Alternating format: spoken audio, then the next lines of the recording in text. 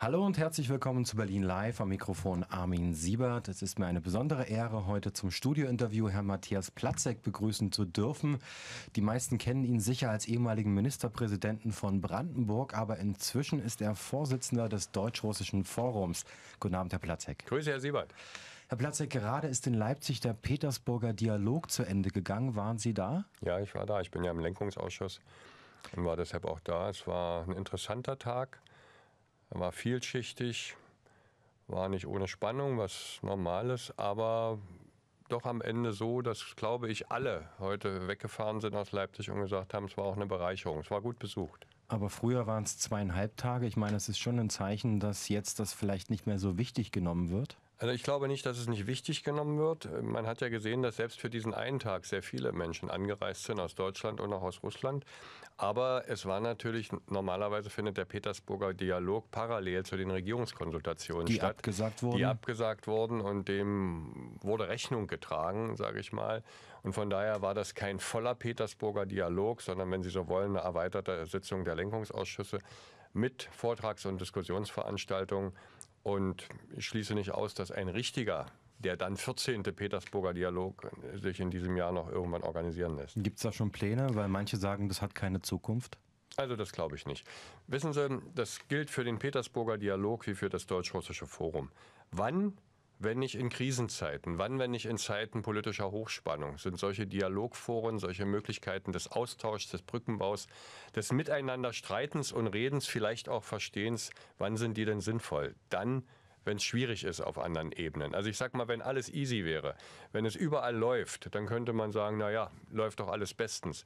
Aber dass wir solche Foren noch haben und dass diese Foren glücklicherweise auch in solchen Zeiten funktionieren, ich glaube, das ist sehr, sehr viel wert und deshalb sollten wir das auch hegen und pflegen. Sie sind ja erst seit einigen Wochen dabei, haben also vielleicht nicht den direkten, unbedingten Vergleich. Aber was sagen Ihre Kollegen? Wie hat sich die Kommunikation mit den russischen Kollegen seit Beginn der Krise geändert? Also ich bin ja nun über viele Jahre, wenn auch in anderen äh, Verpflichtungen und Ämtern oft in Russland gewesen. Wir hatten, haben als Brandenburg etliche russische Partnerregionen und da merkt man im Moment schon, dass das Klima ein Stück komplizierter geworden ist, überhaupt keine Frage. Und man stellt sich gegenseitig mehr Fragen. Und es ist auch so, dass großer Erklärungsbedarf da ist. Und auch das finde ich in solchen Zeiten nicht unnormal. Es gibt manchmal, wir hatten, ich war jetzt in den letzten Monaten öfter drüben, es gab auch Gesprächssituationen, wo man dachte, na hallo, dann geht es jetzt nicht weiter. Aber wir haben immer Wege und Möglichkeiten gefunden. Das hat, ist auch eine Frage des gegenseitigen Respekts bei allen unterschiedlichen Meinungen. Und es ist auch eine Frage, dass ich glaube, wir sollten nie aufhören, auch wenn wir manches nicht akzeptieren, aber nie aufhören zu verstehen, warum handelt der andere so, wie ist das Bedingungsgefüge. Und deshalb bleibe ich dabei, jedes gesprochene Wort, jeder Satz, jedes Gespräch, was geführt wurde, ist hundertmal besser als irgendeine Drohung mit militärischen oder sonstigen Maßnahmen. Aber ich habe selbst von Kollegen von Ihnen vom Deutsch-Russischen Forum gehört, dass Sie bei Kollegen aus Russland, die Sie seit 20 Jahren kennen, plötzlich verblüfft sind und die nicht mehr verstehen. Auch bei der Intelligenz gibt es einen Bruch. Die Hälfte für Putin, die Hälfte dagegen. Ähm, wie ist Ihr Eindruck? Vom, also können Sie den Standpunkt Ihrer russischen Kollegen nachvollziehen? Also mein Eindruck ist ein bisschen anders, wenn Sie sagen Hälfte dafür, Hälfte dagegen. Ich habe eher den Eindruck, dass im Moment äh, der Präsident, also Putin, deutlich besser dasteht als noch vor einem halben Jahr. Da gab es sehr viel kritische Äußerungen, da gab es sehr differenzierte Meinungen, da gab es Dinge, die ja auch durchaus rele große Relevanz haben. Die Modernisierung der Wirtschaft geht nicht richtig weiter, die Entwicklung des Mittelstandes stagniert und, und, und. Ich habe jetzt den Eindruck, dass in den letzten Wochen sich die Reihen eher geschlossen, geschlossen haben. haben und dass man mehr zum Präsidenten steht, als das, gerade weil Sie sagen, in der Intelligenz ja und anderswo bei Kulturleuten habe ich den Eindruck, da ist es eher ein umgekehrter Prozess. Das macht das Gespräch nicht immer einfacher, keine Frage. Ich, ich, hatte manchmal den Eindruck, dass solche Plattformen wie der Petersburger Dialog oder auch das Deutsch-Russische Forum den deutschen Teilnehmern etwas mehr am Herzen liegen als den Russen. Täuscht das?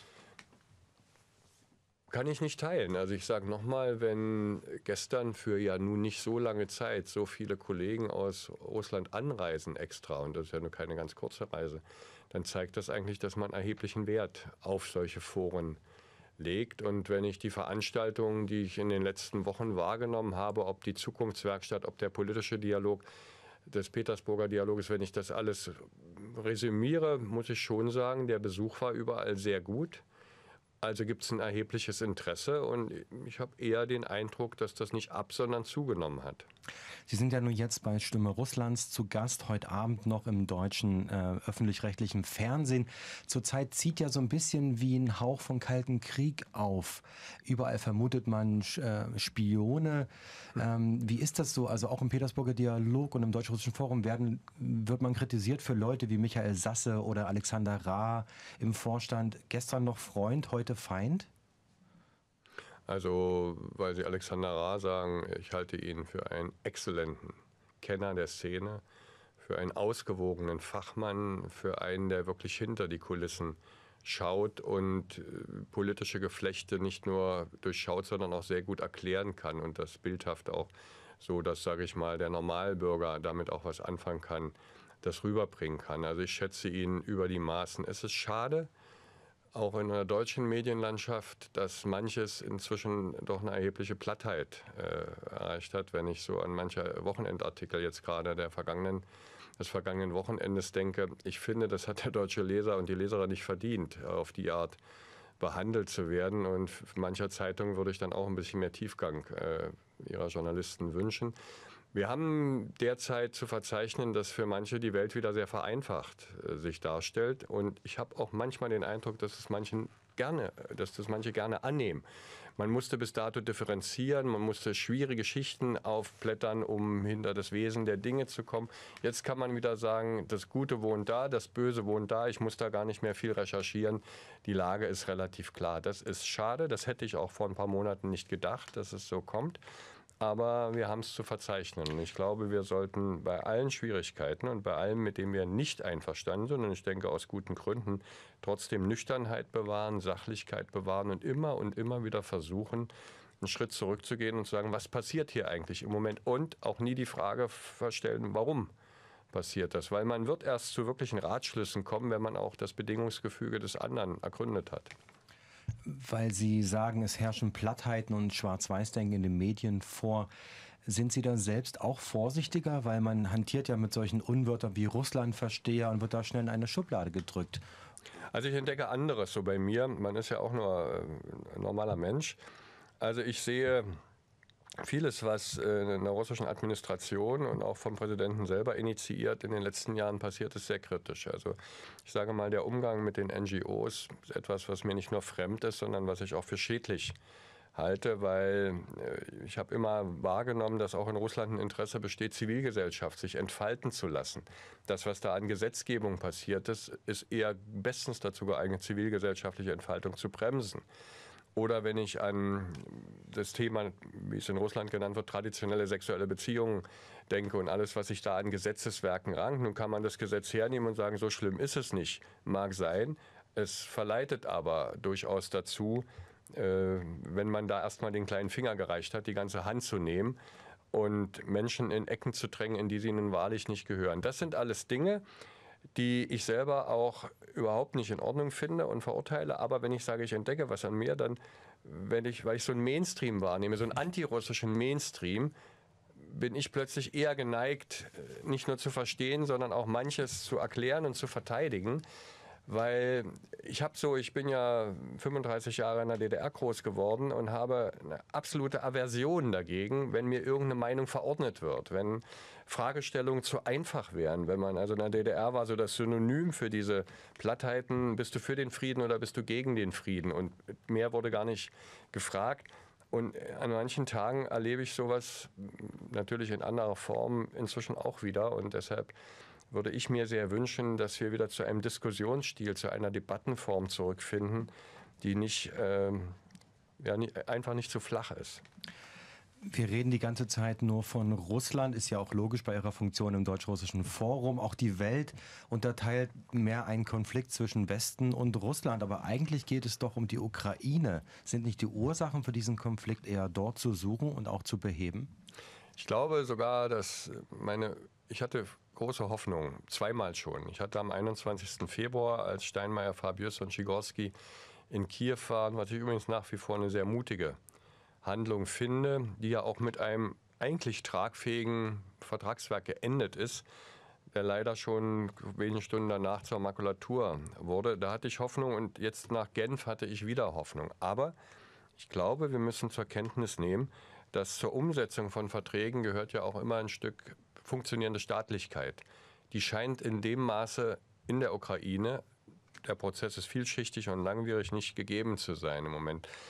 Vielleicht äh, werden wir rauskommen, nur von draußen muss begleitet werden, keine Frage, aber wenn Ukrainer selber sich an einem großen runden Tisch zusammenfinden und nach Lösungen suchen. Ich meine, es gibt Beispiele, als Polen 89 äh, im Sommer in einer höchst schwierigen Situation war, gab es ja die Erfindung praktisch des runden Tisches, was am Ende in konditionierten Wahlen geendet ist, die das Land vermocht haben zu stabilisieren. Ich selber war Mitglied des zentralen runden Tisches in der DDR, als dort auch das Land am Zerfallen war und fast unregierbar auch wurde. Also nun wiederholt sich Geschichte nicht und Vergleiche hinken immer, aber ich habe den festen Eindruck, dass der Impuls eigentlich aus der Ukraine kommen muss und die sowohl die äh, Europäische Union als auch die Russen als auch Amerika müssen höchst vernünftig und höchst verantwortungsvoll diesen Prozess flankieren, aber ich habe nicht den Eindruck, dass wir ihn wirklich gestalten können. Sie reden bereits von politischer Stabilisierung, aber im Moment gibt es akutere Probleme. Gerade sind die ukrainischen Streitkräfte gegen Separatisten in äh, Slowiansk vorgerückt. Ist das der richtige Schritt, wie die Ukraine im Moment agieren sollte auf diese ähm, Separatistenbewegung oder diese Unabhängigkeitsbestrebungen? Ich kann es nicht von hier aus hundertprozentig einschätzen, aber diese Separatistenbestrebungen und auch wenn ich ukrainische Menschen aus dem Osten der Ukraine höre, die sagen, bis vor kurzem waren sie auch dagegen, Russland angeschlossen zu werden, aber sie haben in den letzten Monaten wahrgenommen, dass man sich um sie nicht kümmert, dass man sie nicht ernst nimmt, dass man ihre sprachlichen, kulturellen und ethnischen Besonderheiten nicht ernst nimmt, dass man russische Programme abschaltet im Fernsehen und, und, und. Und dass sie plötzlich umdenken. Das heißt, ich will damit sagen, ob militärische Aktionen das Problem lösen, wenn man nicht die Ursachen wirklich bekämpft und wenn man nicht das sichere Gefühl gibt für die Ukrainer, auch in der Ostukraine, ihr gehört dazu und ihr seid mit euren Rechten und Möglichkeiten genauso werthaltig und wertvoll wie alle anderen Regionen auch, dann könnte das mit dem Militär sehr kurzatmig sein und zu einer anderen Reaktion führen, nämlich dass man dann endgültig in der Ostukraine sagt, na danke, wenn das die einzige Reaktionsmöglichkeit ist, dann wollen wir was anderes. Also würden Sie sagen, die ukrainische derzeitige Interimsregierung agiert relativ kopflos im Moment und, und äh, überhitzt sozusagen. Wissen ich möchte nicht in, äh, in der Rolle derer stecken, die da jetzt in Kiew Verantwortung tragen. Das muss man ja auch mal ehrlicherweise sagen. Aber man kommt nicht umhin, wenn man die Handlungen der letzten Wochen mal von ihren Wirkungen her ansieht, dann ist das Wort unglücklich wohl das zahmste und das vorsichtigste Wort, was man da äh, anwenden kann. Es ist viel Porzellan zerschlagen worden. Im deutsch-russischen Forum vertreten Sie natürlich den Dialog mit Russland, aber beim Ukraine-Konflikt, wer sollte welche Schritte denn im Moment forcieren? Von Seiten der EU, von Seiten Russlands, von Seiten der NATO und von der Ukraine selbst aus? Also wir haben gestern im Petersburger Dialog ja lange auch diese Frage diskutiert und haben ja uns auch auf dem Papier, der Vorstand der deutschen Seite des Dialoges uns auf dem Papier verständigt, in dem, sage ich mal, die Kernforderung ist, dass das Genfer Abkommen schlicht und ergreifend ernst genommen und umgesetzt werden muss. In diesem Abkommen steht alles Wesentliche, was zuerst mal zur ersten Stabilisierung der Situation dienen kann, letztlich drin. Und ich glaube, einer der Hauptpunkte ist, dass man anerkennt, dass für das gesamte Gebiet der Ukraine ein Zustand herzustellen ist, der Staatlichkeit überhaupt erst wieder ermöglicht. Das heißt Entwaffnung, aller illegal Bewaffneten, und zwar gilt das nicht nur für die Ostukraine, sondern für das gesamte Gebiet der Ukraine, und Räumung aller illegal besetzten Gebäude und Plätze. Und das ist Gegenstand dieses, dieser Vereinbarung. Dem von, hat ja auch Russland zugestimmt. Genau, dem hat Lavrov zugestimmt, den haben aber auch alle anderen zugestimmt. Und auch der ukrainische Außenminister hat dem zugestimmt. Und nun wäre es einfach gut, weil es nützt ja nicht noch drei Verträge auszuhandeln, wenn am Ende das Ergebnis ist, dass nichts davon umgesetzt wird. Man hat hier eine belastbare Grundlage und sollte die jetzt einfach ausfüllen. Wie sollte die NATO sich verhalten? Wie sollte die USA sich verhalten? Also ich würde mir einfach generell von beiden Seiten wünschen. Ich würde mir das von den Russen wünschen. Ich finde es nicht gut, äh, was der Außenminister Lavrov in den letzten zwei, drei Tagen an auch verbaler Aufrüstung betrieben hat mit dieser Drohung, dann müssen wir ihm eventuell Truppen schicken. Schon der Satz alleine müssen wir eventuell. Und genauso hm, finde ich es nicht glücklich, wenn Herr Rasmussen, der NATO-Generalsekretär, in jeder Rede nochmal versucht, ein Stück Öl ins Feuer zu gießen. Also wir sollten auch sprachlich, es, wir leben in einer Mediengesellschaft, da sind auch gesprochene Sätze, Dingen. Waffen. Na, Waffen ist vielleicht aber knapp drunter, sage ich mal. Und da sollten wir mit jedem Wort und jedem Satz auch zur Deeskalation beitragen und nicht umgekehrt. Deutschland wird immer stärker eine Führungsrolle zugeschrieben, zumindest innerhalb der EU, wenn nicht sogar weltweit. Wie, sollte, wie könnte sich Deutschland noch stärker einbringen in, diesen, in die Konfliktlösung? Also ich finde es erstmal gut, dass sowohl die Kanzlerin, insbesondere aber der deutsche Außenminister Frank-Walter Steinmeier in den letzten Wochen ja alles versucht haben, um einer vernünftigen, nüchternen Sicht Raum zu geben, alles zu tun, um möglichst nicht immer die nächste Eskalationsstufe schon im Kopf zu haben, sondern den Weg, wie man zur Deeskalation kommen kann. Also keine Einbahnstraßenpolitik betreiben, sondern immer sehen, dass überall Ausfahrten auch geöffnet werden, um, um wieder runterzukommen, um wieder zurückzukommen. Und da ist ja der deutsche Außenminister einer der aktivsten in den letzten Wochen gewesen. Und ich glaube, dass Genf zustande gekommen ist, hat auch viel mit seinem Wirken zu tun. Aber man muss auf der anderen Seite auch sagen, es muss jetzt auch, es müssen praktische Schritte folgen, sonst entwertet sich jede diplomatische Bemühung, wenn am Ende das Ergebnis ist, dass es noch militärischer wird, dass es noch konfliktgeladener wird, dass es am Ende noch weitere Tote gibt, dann ist das irgendwas, wo auch, sage ich mal, ringsrum jeder sagen würde, na was sollst du noch, wenn die sich treffen und es hat keine Wirkung oder eine entgegengesetzte. Soweit zum Ukraine-Konflikt, Herr Platzek, wenn wir Sie schon mal da haben, ganz zum Schluss noch ein bisschen davon weggehend, ich will nicht sagen privat, aber zu Ihrem gesamten Spektrum. Sie haben sich ja aus der Politik aus gesundheitlichen Gründen fast vollständig verabschiedet. Einen Ruhestand stellen sich die meisten Menschen jedoch anders vor. Warum engagieren Sie sich weiterhin so an breiter Front für die Gesellschaft? Ja, der eine kann sowas und der andere kann es nicht. Also Ruhe ist nicht mein Ding. Ich glaube, das würde mir auch gesundheitlich nicht bekommen. Äh, es ist schon ein anderer Tagesablauf. Jetzt, wenn man als Ministerpräsident muss man 20 Dinge gleichzeitig im Kopf haben und ist letztlich für fast alles verantwortlich. Ich habe mir ein paar Felder gesucht. Ich kümmere mich um ein paar soziale Stiftungen äh, und arbeite dort mit, unter anderem von Regine Hildebrand gegründet, die Stiftung Hilfe für Familien in Not. Das liegt mir lange am Herzen. Jetzt verwende ich, kann ich mehr Zeit verwenden. Ich bin ein bisschen zu meinen Wurzeln zurückgekehrt, bin im Stiftungsrat der Heinz-Sielmann-Stiftung, weil ich komme ja aus der Umwelt. Bewegung letztlich.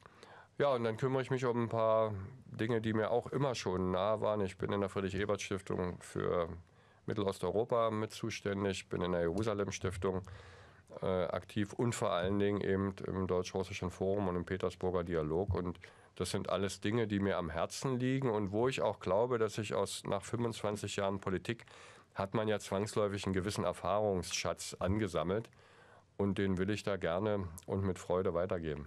Ich nehme an, Sie verfolgen das politische Geschehen, auch das innenpolitische nach wie vor aktiv. Wie sehen Sie die Arbeit von Frau Merkel, die ja doch einiges gemeinsam hat mit ihrem Lebenslauf? Also ich bin erstmal ganz froh, dass die Große Koalition, äh, die sich ja nun mal aus dem Wahlergebnis, ohne dass jemand angestrebt hat, so ergeben hat, gut gestartet ist. Ich bin sehr froh darüber, dass die Dinge, die die Sozialdemokratie in ihrem Wahlprogramm stehen hatte, jetzt fast alle schon das Licht der Welt erblickt haben. Also ich sage mal, angefangen vom Mindestlohn bis zur Rente nach 45 Arbeitsjahren. Das ist ein gutes Zeichen, das ist eine gute Handschrift und ich sage mal, dass Angela Merkel nun in Europa eine der anerkannten Staatsfrauen ist. Das steht außer Zweifel und äh, sie ist halt Brandenburgerin und deshalb schon mal per se Qualitätsmerkmal. Ich wollte sagen, eine qualitätsvolle Frau. Nächsten Monat haben wir Europawahl. Meinen Sie, die Menschen nehmen das, was in Brüssel geschieht, ernst genug? Wir werden es sehen. Ich befürchte so ein bisschen, dass wir einen spürbaren Rechtsruck äh, haben werden. Wobei Rechtsruck ist noch so, also es wird mehr in populistische Dinge gehen, es wird mehr, es ist relativ leicht, sich über Brüssel zu erregen. Manches tut ja Brüssel auch selber dazu, aber ich finde es manchmal auch ein bisschen leichtsinnig und leichtfertig, äh, zu viel Schuld dorthin abzuschieben. Äh, da wird immer wieder die, der Krümmungsgrad der Banane äh, erwähnt. Aber ich sage mal, dass wir am Ende doch in einem Gefüge leben, in einem Staatsgefüge, das in der Lage ist, große Krisen, siehe Griechenland, Spanien, Portugal, zu bewältigen. Das sieht ja doch so aus, als wären wir ein ganzes Stück dort vorangekommen. Und dabei Frieden zu bewahren und den Menschen doch eine einigermaßen, wenn das auch in Südeuropa im Moment alles sehr schwierig ist, eine einigermaßen Perspektive zu geben. Das sind Werte an sich und ich würde mir wünschen, dass die nicht so in den Hintergrund treten. Ich habe neulich so einen ganz zynischen Spruch gehört, an dem vielleicht trotzdem was dran ist. In einer Podiumsdiskussion sagte einer der Teilnehmer, er hat den Eindruck, der letzte Krieg läge zu lange zurück, als dass Menschen noch wüssten, welchen Wert sie mit dem Zusammenschluss der europäischen Staaten haben oder vieler europäischer Staaten. Vielleicht zeigt die Spannungssituation, in der wir jetzt sind, wieder einiges davon auf, dass wir eigentlich auf der Sonnenseite, sage ich mal, auch dadurch, dass es die EU gibt, leben.